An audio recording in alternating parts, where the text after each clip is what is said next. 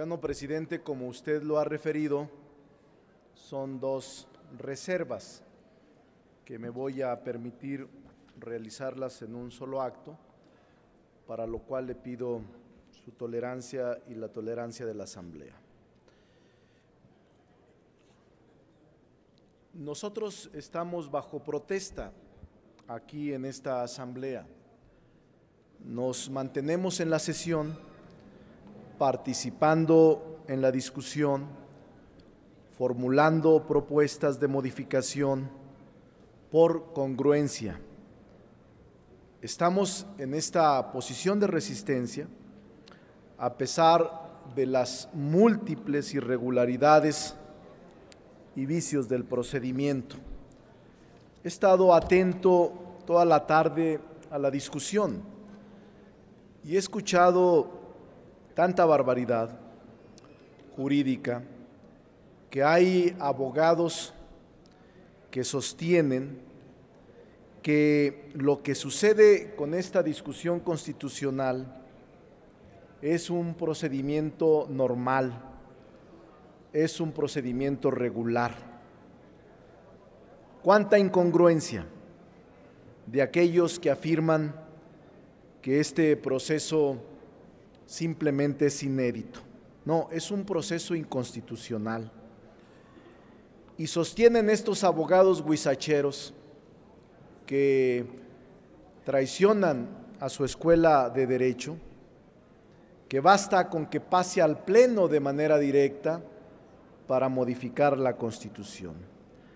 Hay tanta ignorancia, hay tanta ignorancia aquí, que se aprueban por la vía rápida 30 artículos constitucionales y 21 transitorios. Es digno de Kafka es digno de que las escuelas de derecho del país puedan analizar con toda seriedad las barbaridades que aquí la mayoría de los legisladores han arrollado, han atropellado, han violado. Miren, es tanta la ignorancia y tanta la impunidad con la que actúa la mayoría que por la vía rápida aprueban este método de reforma constitucional sin haber pasado a las comisiones, ya ha sido muy discutido. Pero incluso sin haber pasado a las comisiones al inicio de la discusión, presentan modificaciones a la minuta y no pasaron a comisiones. ¿Quién presenta las modificaciones? a la minuta enviada por el Senado. ¿Quién las presentó si no se reunieron las comisiones?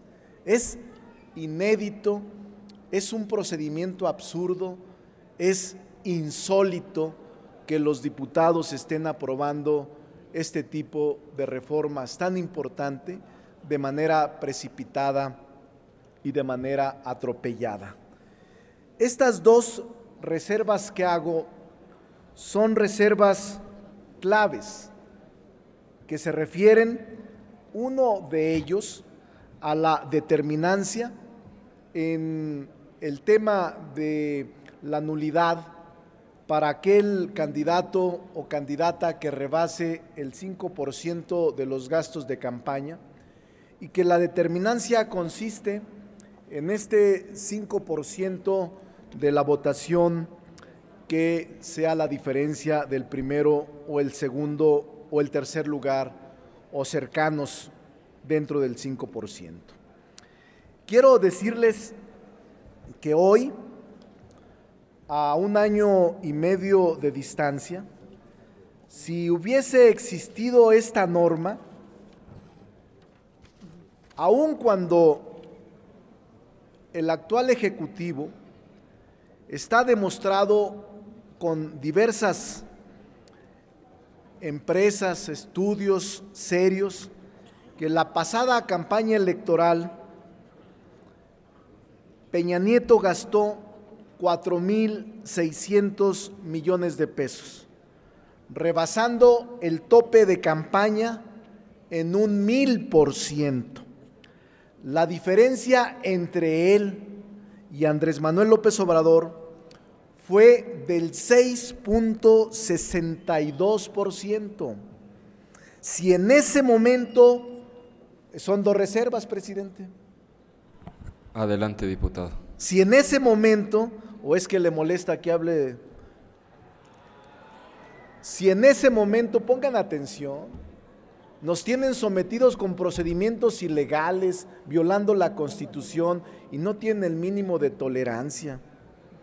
Miren, si Peña Nieto, si volviera a repetirse, si en este momento estuviera vigente este artículo que ahora discutimos, el PRI se hubiera ahorrado la molestia de esconder sigilosamente las facturas de sus gastos reales, pues no habría cometido falta alguna. El artículo reservado pretende permitir el rebase del tope de gastos de campaña en un 5% de lo establecido y solo se considerará una violación si la diferencia de votos entre el primero y el segundo lugar es menor del 5% de los votos. Por esa razón, nosotros sostenemos que lo que se gastó en la campaña de Peña Nieto, más del mil por ciento, nada hubiese ganado la ley ni la población con este artículo que ahora presumen de mucha novedad no es ninguna novedad.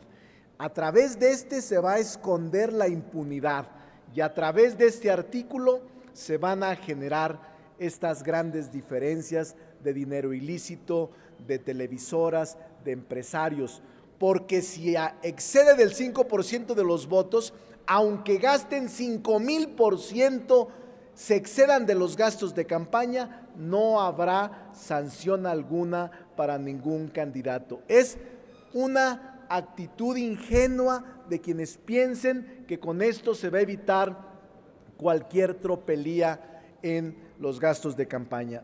Presidente, le solicito incorpore de manera textual las dos reservas en donde establezco incluso estudios de derecho comparado sobre este tema de cómo las nulidades en todo el mundo existen y aún sin la determinancia se declaran inválidas o nulas las elecciones e incluso se llega a eliminar, a quitar o a suprimir curules, escaños o representaciones legales cuando un candidato se excede de los gastos de campaña sin importar el porcentaje. Puede ser el punto 5, el 1%, el 5 o mayor porcentaje. Es una propuesta seria. Sé que no va a tener posibilidades de éxito como todo lo que proponemos.